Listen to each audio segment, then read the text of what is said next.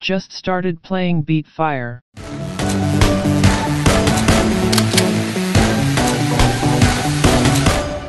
One day after playing Beat Fire.